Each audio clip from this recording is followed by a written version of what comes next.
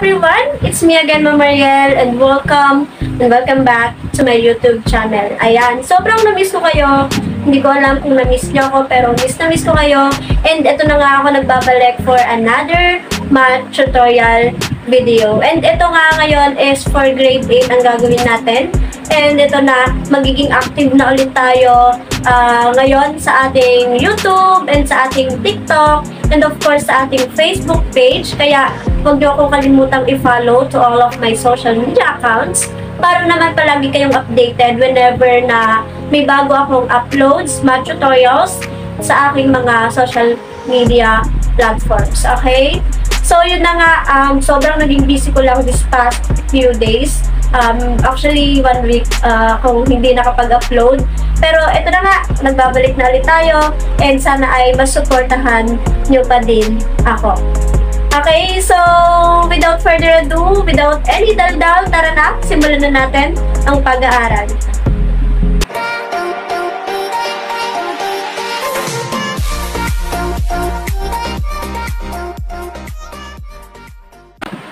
Na nga, syempre, ang i-discuss natin for today's video is all about the rational algebraic expression. What are we going to do is, of course, to define a rational algebraic expression. Aalamin natin, ano ba kapag sinabing rational? Ano ba kapag sinabing expression? Okay, so, kailangan malaman natin to, enable for us to easily understand yung mga susunod pang lesson all about this one.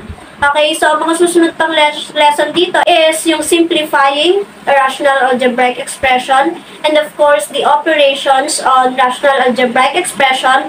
Pero for now, we're gonna focus on um, definition of rational algebraic expression or illustrations. Okay?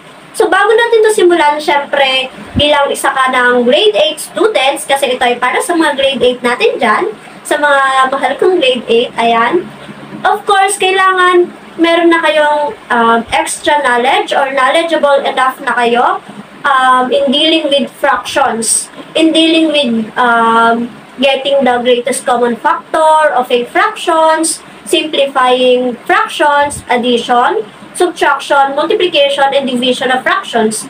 Anyway, madami akong tutorials all about fractions and kumpleto yan. Ilalagay ko na lang yung link dito sa taas puntahan nyo yan and para mas marami kayong alam all about fractions and masimulan na natin tong um, rational algebraic expression.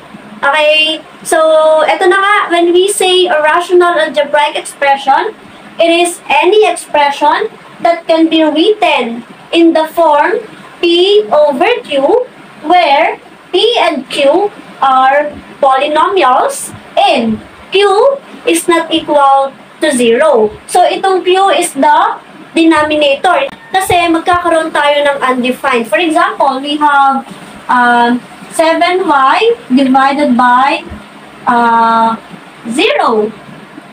7y over 0, that is undefined or walang magiging sagot, no? Kaya hindi pwedeng maging 0 ang ating um, denominator.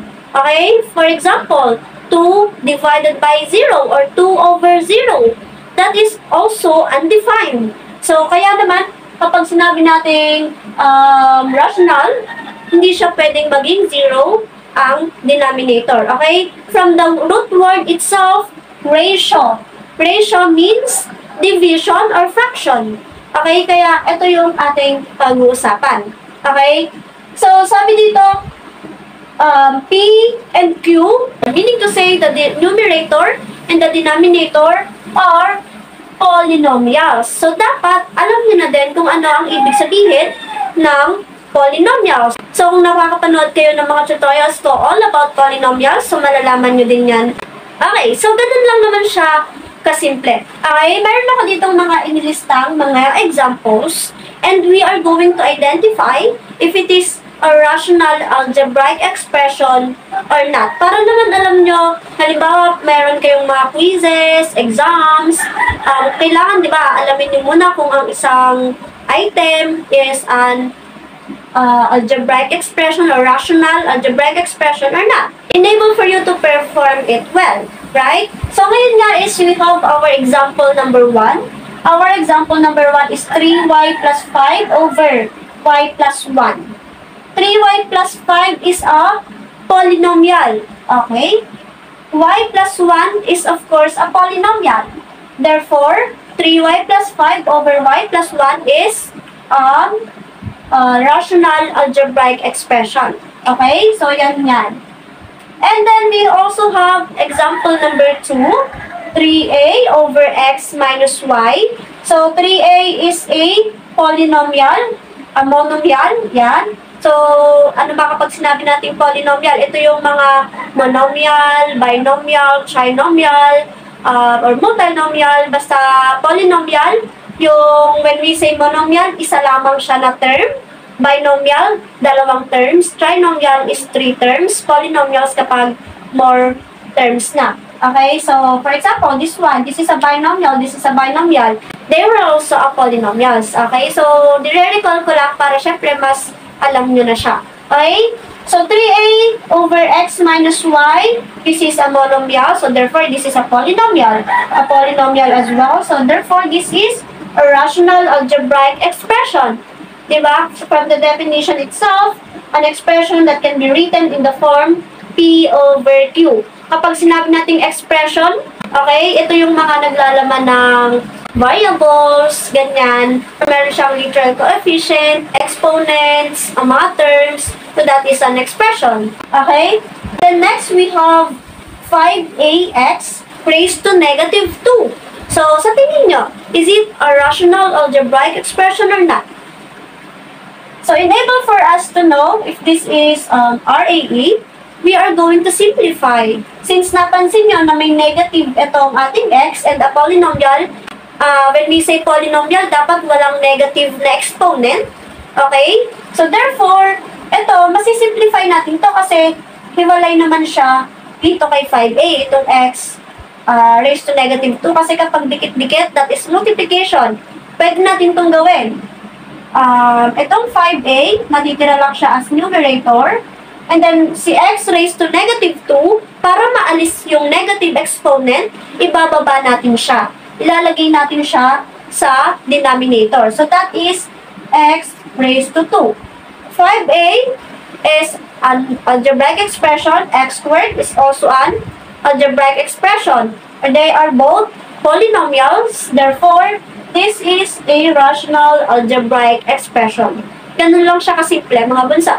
Okay? Next, we have number 4, 2c plus d over 3c squared plus 5c minus d.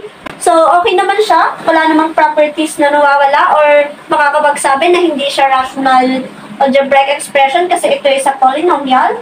This one also a polynomial. Therefore, this is a rational algebraic expression. Okay? So, number 5. 1 over x minus square root of y. What do you think? Is it a rational algebraic expression or not?